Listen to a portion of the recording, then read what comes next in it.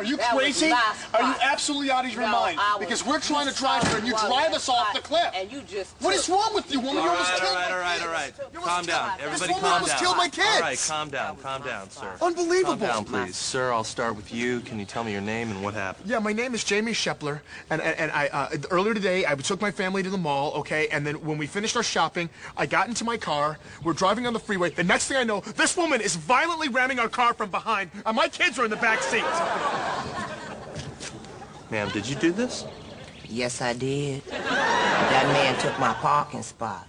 She deliberately slammed into the back of our car because she thought we took her parking spot. I'm sure that's not what she, you're saying. Did that? Is that what you're saying, ma'am? No, that's exactly what I'm saying. That man took my spot. See, she's crazy. Okay. Ma'am, um, may I have your name, please? My name is Yvonne Kriddle, and I saw that spot first, so I had She was following us for 20 miles, and then I tried to lose her in these hills, and she tried to run us off of a cliff. Ma'am, did you try to run this man and his family off of a cliff? Yes, I tried that, and I almost had him on a couple of those hairpin turns. Unbelievable. But see, he pulled into my parking spot. So you tried to kill him? Mm-hmm. Yes, yes, sir. And if I hadn't had to stop at that railroad crossing, we wouldn't be having this conversation. But see, officer, they had pulled into my parking Ma'am, spot. Now, do I you- want to know what you can do Do you about that. realize what you are saying? Yes, I do realize it. But see, I don't like to walk far, and that spot was closed. I can't believe I'm so hearing this. She's saying that she would kill my kids. Are you saying that you would kill my kids because we made you walk far? Yes, I would kill your kids. But I had to circle around for that spot. That's sick, okay? And, be- and besides that, there were like four other open spots there. But see, I needed the spot close to the garden center because I needed to get me a shovel. See, 'cause Miss what Grillo, it's irrelevant why you I- need a shovel. I don't, I I don't need to know that.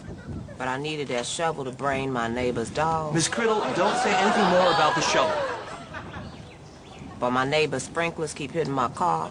And so that's why I was Oh my God, the lady. dog. You were planning on killing someone's dog because your car got wet? Yes, that was my plan. But see, those sprinklers keep hitting that car like that.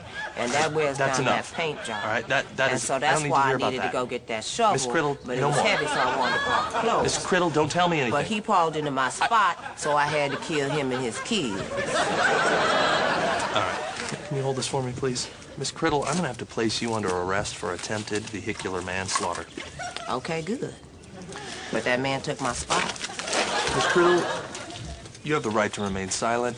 Anything Okay. you say Ken, will be held against you in a court of law. That's fine, but that shovel was heavy. I'm gonna tell him that in Cannot code of law. provide yourself with an attorney. One will be provided for you by the state. Well, that sound good, but see, when her sprinklers hit my car like that, that just ain't right. I Miss had to go Kriddle, get do you understand your shovel. rights? Yes, I do. I sure do, but I had to bring that dog to keep those sprinklers from acting like that. What?